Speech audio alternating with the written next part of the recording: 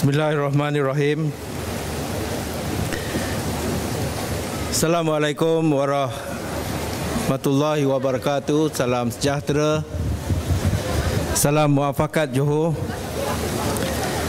Yang bahagia saudara pengacara majlis Yang berhormat Ahli-ahli majlis mesyuarat Kerajaan Negeri Johor Yang berhormat Datuk Ayub Yang berhormat Datuk Hasni Yang berbahagia.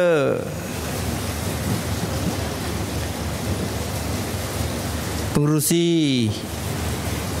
Kesatuan Penghulu Penggawa Negeri Johor Tuan Haji Syafi'i bin Ahmad.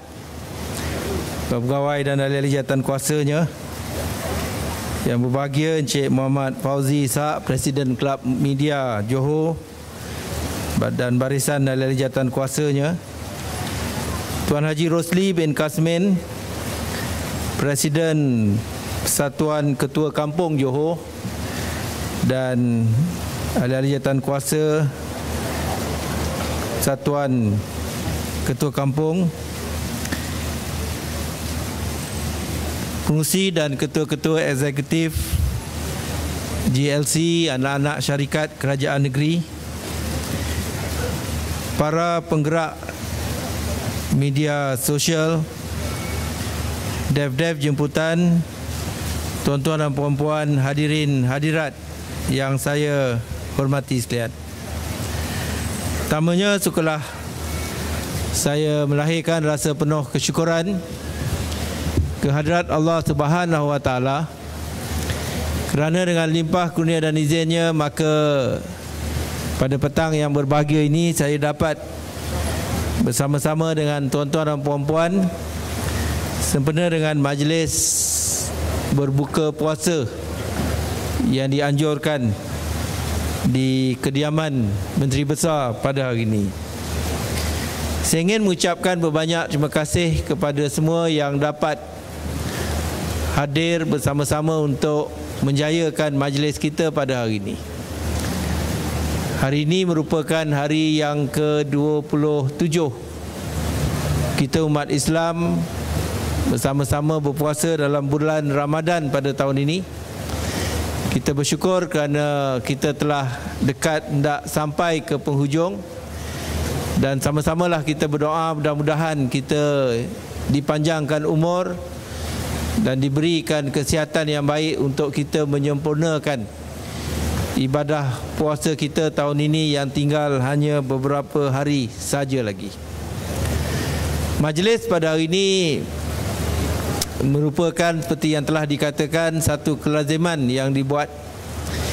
Jika dahulu ianya hanya melibatkan pihak pengamal media tapi pada tahun ini kita telah perluaskan lagi untuk menjemput bersama-sama dengan kita dalam majlis hari ini daripada penghulu-penghulu yang terdapat di negeri Johor dan juga ketua-ketua kampung yang datangnya daripada negeri Johor.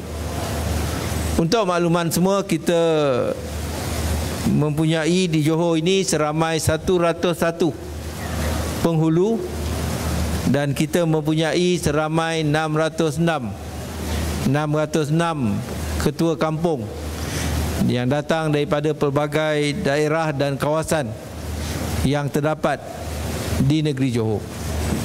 Saya ucapkan berbanyak terima kasih kepada semua kerana telah sudi menerima jemputan kami termasuklah daripada syarikat-syarikat JLC Kerajaan Negeri dan lain-lain pengamal media uh, sosial yang sememangnya semua berperanan untuk sama-sama menjayakan apa saja usaha yang dilakukan oleh kerajaan negeri dalam membawa pembangunan dan kemajuan untuk negeri Johor.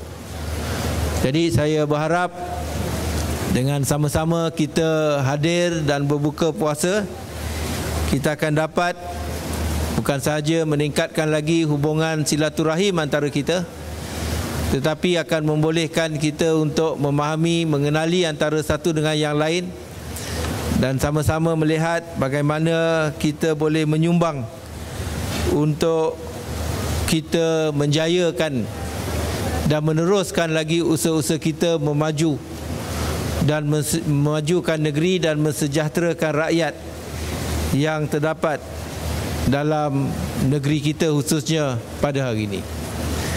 Sememangnya kita tidak nafikan bahawa kerajaan negeri khususnya akan terus berusaha dari semasa ke semasa membuat pelbagai perancangan sama ada dari segi dasar sama ada dari segi pendekatan ataupun aktiviti yang dapat memajukan negeri ataupun yang membawa kesejahteraan kepada rakyat dan masyarakat dalam negeri ini. Ini termasuklah sama ada dalam soal-soal kita membangunkan pertumbuhan di peringkat negeri melalui pelbagai dasar yang sedia ada. Sama ada dalam soal kita menentukan pertumbuhan KDNK dan sebagainya.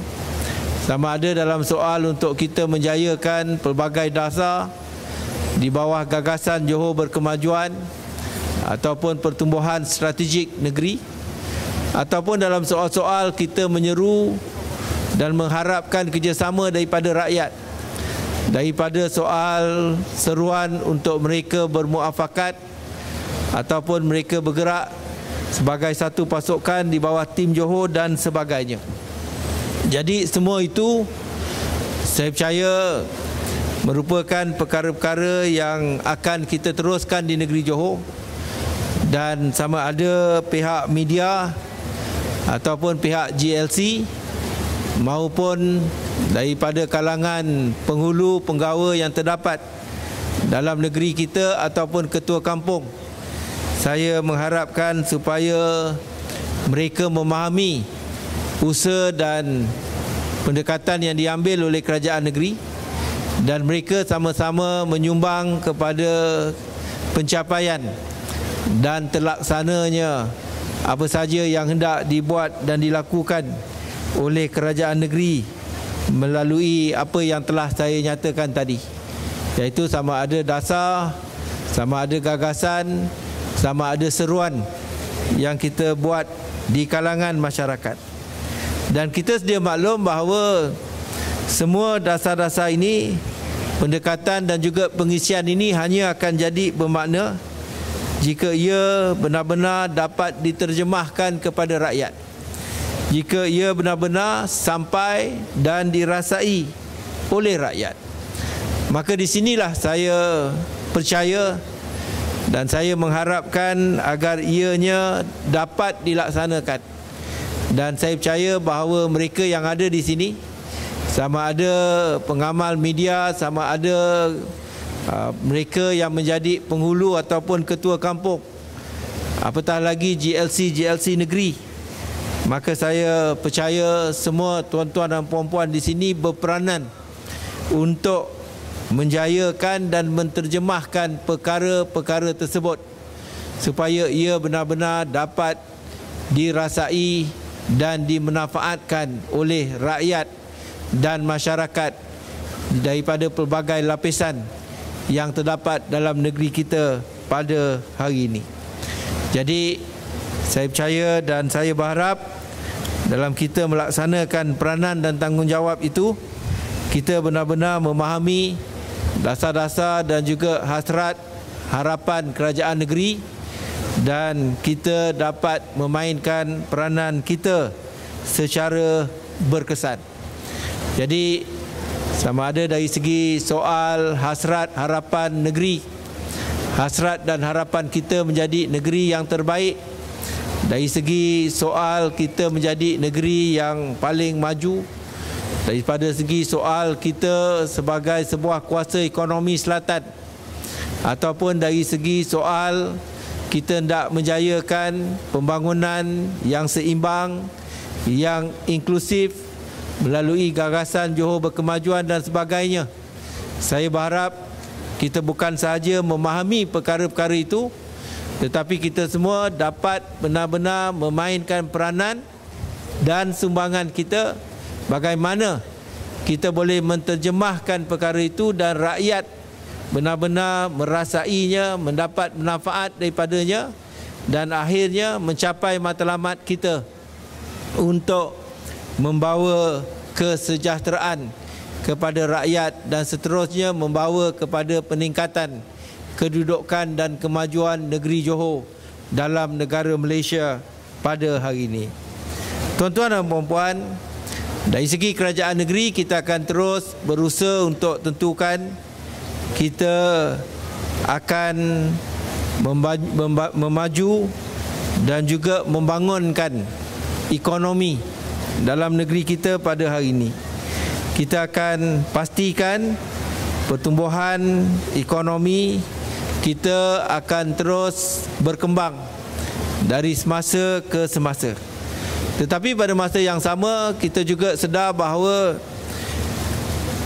pertumbuhan ekonomi itu belum tahu belum tentu boleh membawa kepada keadaan yang menambah baik kehidupan masyarakat ataupun kelompok-kelompok tertentu yang terdapat dalam masyarakat kita pada hari ini. Dan inilah perkara-perkara yang akan terus menjadi tumpuan dan perhatian kerajaan negeri. Kita pasti akan tentukan ekonomi negeri kita terus tumbuh. Kerana kalau ekonomi tidak dibangunkan, ekonomi tidak tumbuh, tidak mungkin kita boleh mengatasi apa saja isu, masalah, cabaran dan ujian yang sedang dilalui pada hari ini. Tetapi dalam kita memastikan ekonomi negeri terus membangun, terus tumbuh, kita sedar bahawa tidak semestinya semua rakyat, semua masyarakat kita mendapat manfaat daripadanya.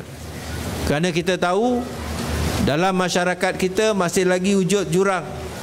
Sama ada jurang kekayaan, sama ada jurang pendapatan sama ada jurang perbezaan antara bandar dan juga desa jurang antara yang kaya dengan yang miskin jurang dari segi pekerjaan jurang dari segi antara kumpulan etnik yang terdapat dalam negeri kita maupun jurang dari segi pendidikan. Semua itu kerajaan negeri memahami masih lagi wujud dan kita perlu beri perhatian bagaimana kita dapat merapatkan lagi jurang tersebut supaya hasrat dan pendekatan yang diambil oleh kerajaan negeri dalam bawa membawa pembangunan ini ianya benar-benar bersifat inklusif dan juga seimbang. Jadi saya berharap kita semua yang ada di sini yang secara langsung adalah ber mempunyai hubungan dengan kerajaan bekerja bersama-sama dengan kerajaan ataupun secara tidak langsung seperti pihak media akan dapat membantu kita untuk mencapai perkara-perkara yang telah saya nyatakan tadi. Kerajaan negeri akan terus memainkan peranan untuk menyedarkan kepada masyarakat dan memberi kefahaman kepada masyarakat bukan sahaja untuk mereka memahami apa yang kerajaan sedang buat dan akan lakukan tetapi mereka menyiapkan diri mereka mengupayakan diri mereka supaya mereka benar-benar dapat mengambil manfaat daripada pembangunan kemajuan dasar-dasar pendekatan pengisian yang sedang kita bawa dan yang sedang dilalui oleh negeri Johor kita pada hari ini.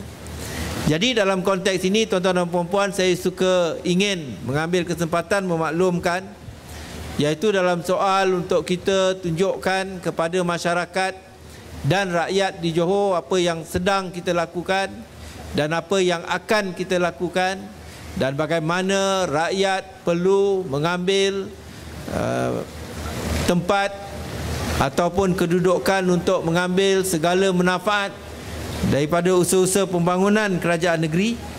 Maka saya suka nyatakan bahawa kerajaan negeri telah membuat keputusan untuk menganjurkan satu expo tidak beberapa lama lagi apa yang kita panggil sebagai Expo Johor.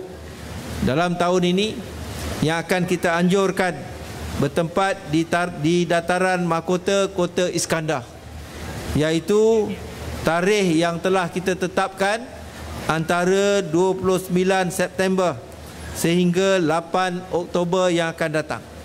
Dan kita akan menjemput Yang Amat Berhormat dan Menteri Datuk Seri Najib Tun Razak untuk bersama-sama merasmikan expo tersebut.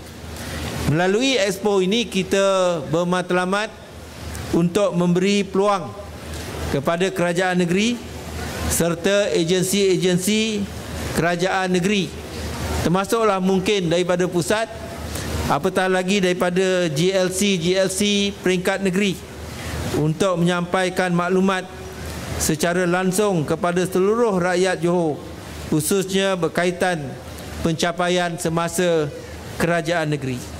Ini bagi tujuan untuk memastikan rakyat mengetahui tentang segala inisiatif pembangunan dan sumber yang dilakukan oleh kerajaan negeri secara tepat dan berdasarkan fakta-fakta yang sebenar supaya rakyat menaruh dan meletak keyakinan yang tinggi kepada kerajaan supaya meneruskan usaha-usaha dan pendekatan yang selama ini diambil oleh kerajaan negeri bukan saja untuk memajukan negeri tetapi untuk membawa kesejahteraan kepada rakyat. Jadi saya berharap supaya penganjuran expo ini akan disambut dengan baik oleh masyarakat dan rakyat di negeri Johor dan kita akan pastikan supaya seberapa ramai rakyat daripada setiap pelusuk negeri Johor akan digalakkan untuk bersama-sama hadir dan menyaksikan expo yang akan kita anjurkan ini. Jadi penghulu khususnya ketua-ketua kampung apatah lagi pihak media kita akan libatkan untuk mempromosikan penganjuran ataupun bila kita menganjurkan expo ini pada tarikh yang telah saya nyatakan tadi. Jadi tuan-tuan dan puan-puan, saya sekali lagi ucapkan berbanyak terima kasih atas kehadiran bersama-sama untuk menjayakan majlis kita pada hari ini. Saya berharap kita benar-benar mendapat keberkatan dan manfaat daripada sepanjang sebulan kita berpuasa dalam bulan Ramadan pada tahun ini dan kita mengambil iktibar daripada pengajaran yang kita dapati sepanjang bulan Ramadan ini dan iktibar serta pengajaran yang kita dapati itu saya berharap supaya dapat kita teruskan dalam bulan-bulan yang akan datang.